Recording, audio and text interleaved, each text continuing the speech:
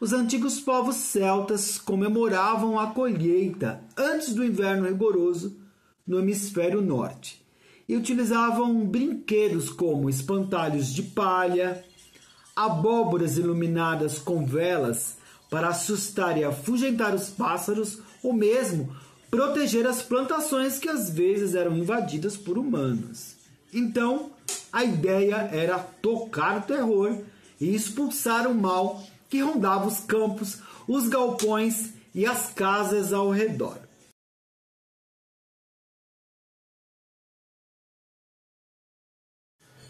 De origem irlandesa, chegou às Américas com a colonização dos Estados Unidos.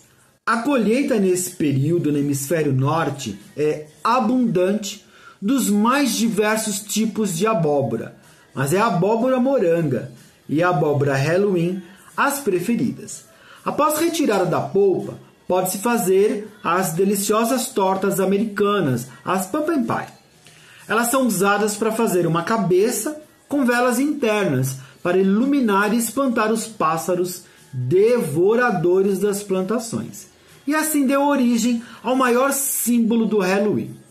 Outros usam para espantar também os maus espíritos e as coisas ruins ao redor das casas e plantações.